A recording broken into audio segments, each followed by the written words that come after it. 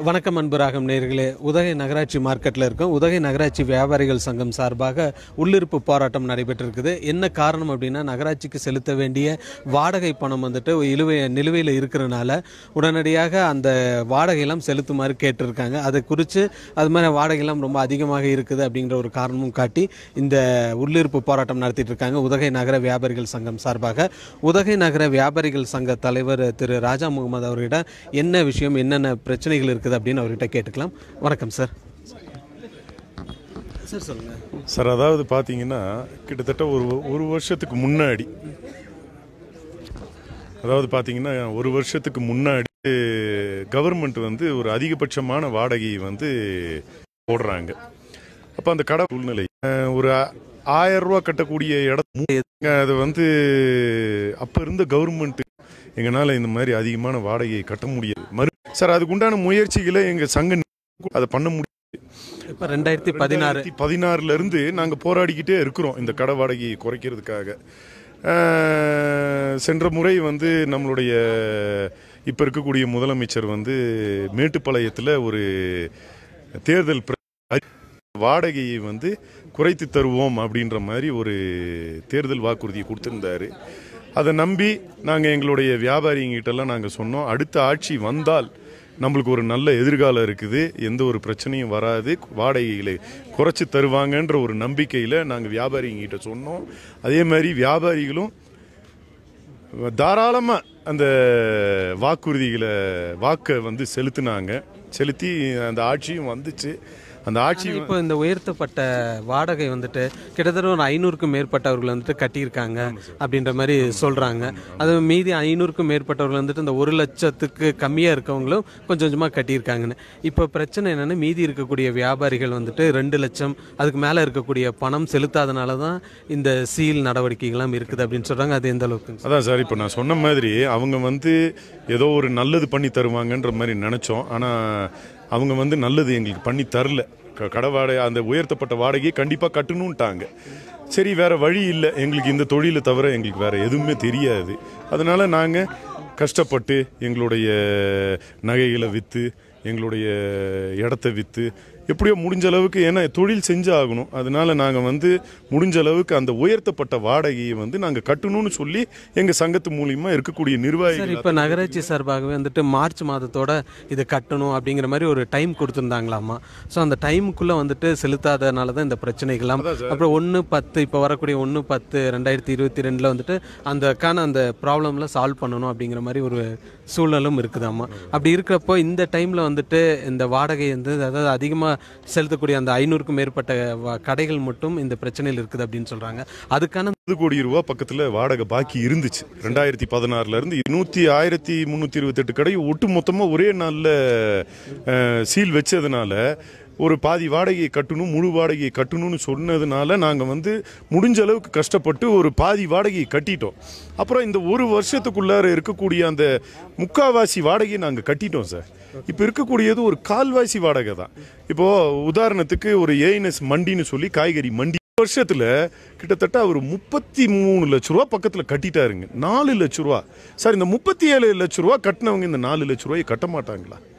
எதுக்கு இவ்வளோ அர்ஜென்ட் பட்டு எங்களை போட்டு நசுக்கி இப்போ வரக்கூடிய காலம் பார்த்தீங்கன்னா தீபாவளி வருது ஆயுத பூஜை வருது கிறிஸ்மஸ் வருது.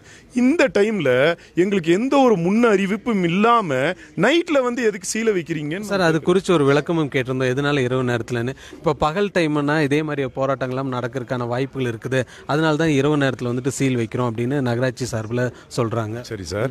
இப்போ இந்த கடையை நம்பி தான் நம்ம வந்து பல விஷயங்களை நாங்கள் செய்யறதுக்கு ரெடியாக இருக்கிறோம்.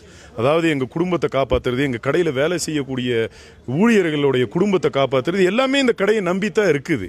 அப்போது இந்த கடையை நம்பி தான் எங்களுக்கு கடன் கொடுக்குறவங்களும் கடனை கொடுப்பாங்க. இப்போது கடன் கொடுத்தவங்க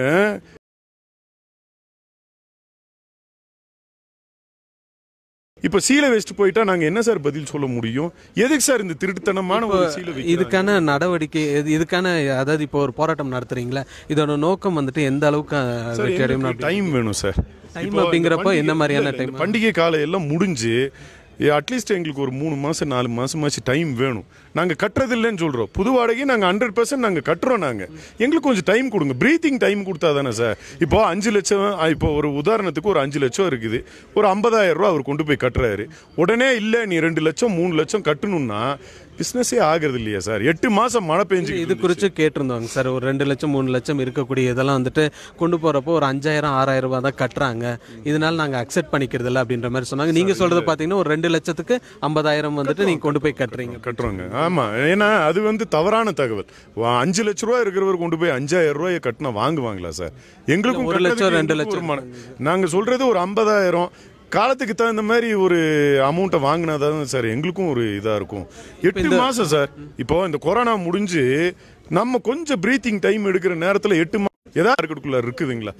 போராட்டம் இது அதாவது கடை வாடகை அதிகப்படுத்தியிருக்காங்க. அதிகப்படுத்துகிற வாடகையும் நாங்கள் கட்டுறதுக்கு தயாராக இருக்கோம். பட் அதுக்கான டைம் வேணும் அப்படின்னு சொல்கிறீங்க இப்போ இந்த உள்ளிருப்பு போராட்டம் இந்த நோக்கத்துக்காக தான் போயிட்டு இருக்குங்களா? சார் அதாவது என்னன்னு கேட்டிங்கன்னா எங்களுக்கு எந்த ஒரு முன்னறிவிப்பும் இல்லை. திடீர்னு வந்து சீலை நைட்டு ஒரு பன்னெண்டு மணிக்கு வந்து ஒரு அஞ்சாறு பேர்த்தோட வந்து சீலை வச்சுட்டு போகிறாங்க அதே மாதிரி நகராட்சியில் இருக்கக்கூடிய அதிகாரிகள் ஒரு பத்து பேர் பதினஞ்சு பேர் என்னமோ குண்டாசிங்களை கூப்பிட்டு வந்து வசூல் பண்ணுற மாதிரி மார்க்கெட்டில் ஒரு எட்டரை மணி ஒம்பது மணிக்கெல்லாம் காலையில் கடையை திறக்கிறதுக்கு முன்னாடியே வந்து நின்றுக்கிறாங்க சார். நாங்கள் என்ன அப்படி என்ன நாங்கள் வந்து பாக்கி வச்சுருக்குறோன்றது எங்களுக்கு ஏன்னா இந்த கடைகள்லாம் வந்துட்டு அந்த சீல் வச்ச கடைகள்லாம் இருக்குது. அதே மாதிரி ஒரு ஐநூறுக்கும் மேற்பட்ட கடைகள் வந்துட்டு அந்த வாடகையை செலுத்த முடியல. அதுக்கான ஒரு டைம் அவகாசம் கொடுத்தா நல்லா இருக்கும்னாங்க இப்போ தான் அந்த பண்டிகை காலம்லாம் வருது. அந்த பண்டிகை காலத்தில் நாங்கள் கொஞ்சம் வியாபாரம் பண்ணுறப்போ எங்களுக்கு அமௌண்ட் எல்லாம் கொஞ்சம் கிடைக்கும். அதை பேஸ் பண்ணி நம்ம கட்டலாம் அப்படிங்கிற ஒரு கோரிக்கையும் முன் வச்சிருக்காங்க. அதிகப்படி அந்த வாடகை அது அதிகமாக இருந்தாலும் நாங்கள் கூடிய சீக்கிரம் கட்டிடுவோம். அதுக்கான டைம் அவகாசம் வேணும் அப்படிங்கிற ஒரு கோரிக்கையும் வலியுறுத்துறாங்க. வேற என்ன மாதிரியான கோரிக்கைகள் சார் அதாவது எங்களுக்கு மெயின் வந்து என்னன்னு கேட்டிங்கன்னா டைம் வேணும். கொஞ்சம் டைம் வேணும். டைம் கொடுத்தாங்கன்னா நாங்கள் கண்டிப்பாக இந்த புது வாடகையை இப்போ இவ்வளோ கட்டிட்டோம் சார். ஒரே இது. நாங்கள் கட்டிடுறோம். கண்டினியூ பண்ணுவோம் சார். அனைத்து கட்சிகளையும் நாங்கள் ஆதரவு கேட்டிருக்கிறோம். குடும்பத்தோடு நாங்கள் வந்து போராட்டத்தில் நாங்கள் இறங்குவோம் சார். நாங்கள் சார் இப்போ இந்த உள்ளிருப்பு போராட்டம் அப்படின்னப்போ மார்க்கெட்டில் இன்னைக்கு இரவு ஃபுல்லாக இருக்க மாதிரிங்களா? எப்படிங்க சார் அது? சார் இன்னைக்கு ஃபுல்லாக இரவு அதுக்கான அந்த ஃபுட் அதெல்லாம் அரேஞ்ச்மெண்ட்ஸ் அரேஞ்ச் பண்ணியிருக்கிறோம் சார் எல்லாருமே அரேஞ்ச் பண்ணியிருக்கிறோங்க.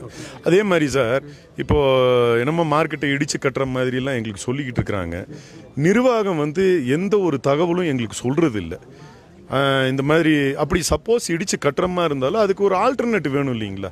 ஏதோ ஒரு மாற்று இடம் எங்களுக்கு தரணும். ஏதோ ஒரு ஆல்டர்னேட் பண்ணி கொடுக்கணும். இந்த விஷயம்லாம் எங்களுக்கு எதுவுமே தகவலே வர்றதில்லை. நாங்கள் வந்து பத்திரிகை மூலியமாக தான் நாங்கள் தெரிஞ்சுக்கிறோம் நாங்கள் இந்த ஒரு அச்சமும் இருக்குது. வியாபாரம் நடத்திக்கிட்டு இருக்கிறவங்களுக்கு கடன் கொடுத்தா தான் சார் நாங்கள்லாம் வியாபாரம் பண்ண முடியும். கடன் கொடுக்குறவங்க நீ கடன் கொடுக்க மாட்டேங்கிறோம் ஏன்னா நாளைக்கெல்லாம் உங்களுக்கு கடையை இடிச்சு எங்கே எங்கேயாச்சும் போயிட்டீங்கன்னா நாங்கள் என்ன பண்ணுறதுன்ற மாதிரி. இன்னைக்கு எங்களுடைய வாழ்க்கை கேள்விக்குரிய ஒரு முறையான ஒரு தகவலும் உங்களுக்கு வந்து சேரணும் அப்படின்னு. சார் ரொம்ப நன்றி சார்.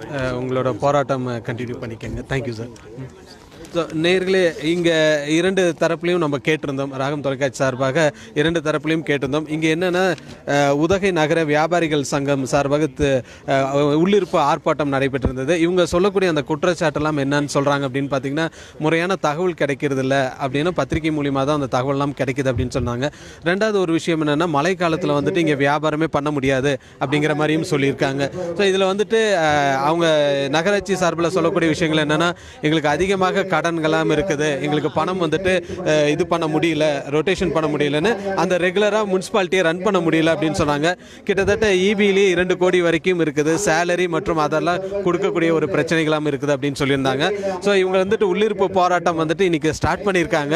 இவங்களோட கோரிக்கை நியாயமான கோரிக்கைகள் வந்துட்டு நகராட்சி செவி சாய்க்கணும் அப்படிங்கிற மாதிரி இவங்க சொல்லியிருக்காங்க வியாபாரிகள். அதுக்கான அந்த போராட்டம் நீங்கள் பார்த்துட்டுக்கலாம் ஆரம்பிச்சிட்டாங்க.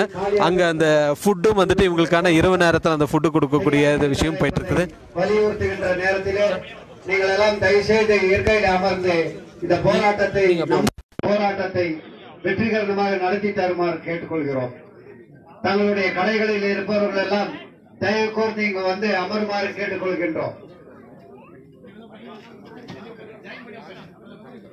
Thank you.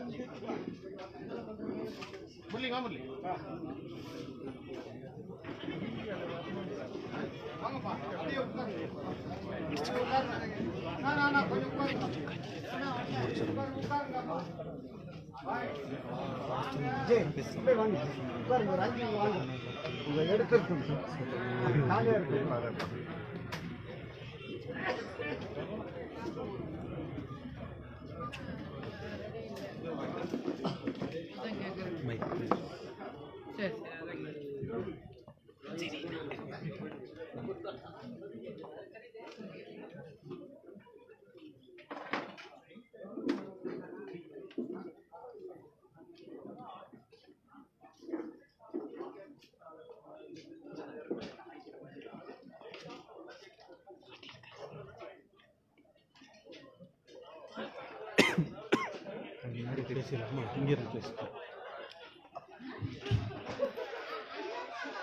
ஸோ மார்க்கெட் பகுதியில் பார்த்தீங்கன்னா அந்த உள்ளிருப்பு போராட்டம் திறந்துருக்காங்க அவங்களுக்கான அந்த சாப்பாடும் அங்கே அரேஞ்ச் பண்ணிகிட்ருக்காங்க இருக்காங்க கடைகள்லாம் வந்துட்டு யூஸ்வலாக வந்துட்டு eight thirty nine maximum nine தேர்ட்டிக்குள்ளே close பண்ணிடுவாங்க. பட் இப்போ அந்த மார்க்கெட் பகுதியில் பார்த்தீங்கன்னா எல்லா கடைகளும் ஓப்பன் பண்ணிகிட்டு இருக்கக்கூடிய அந்த காட்சிகளை நீங்கள் பார்த்துட்ருக்கீங்க மார்க்கெட்டில் இருக்கக்கூடிய கடைகள்லாம் வந்துட்டு ஓப்பனில் இருக்கு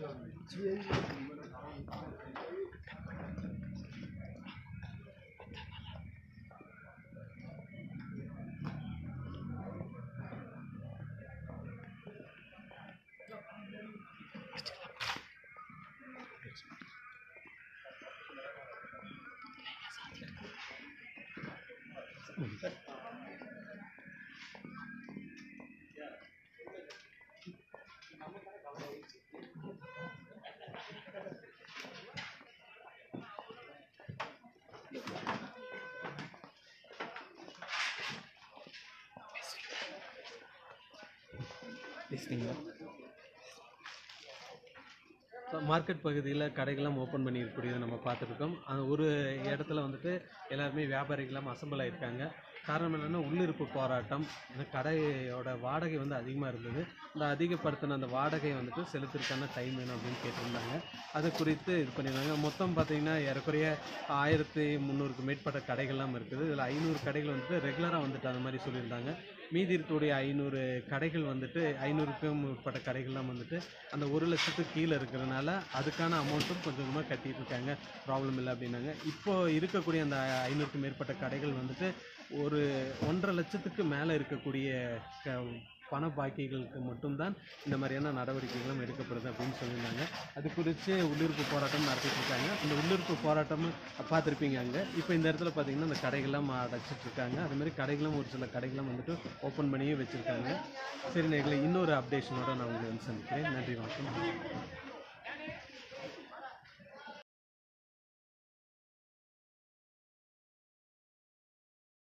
நீலகிரி மாவட்ட தகவல்களை உடனுக்குடன் தெரிந்து கொள்ள ராகம் டிவி யூடியூப் பக்கத்தை சப்ஸ்கிரைப் செய்யுங்கள்.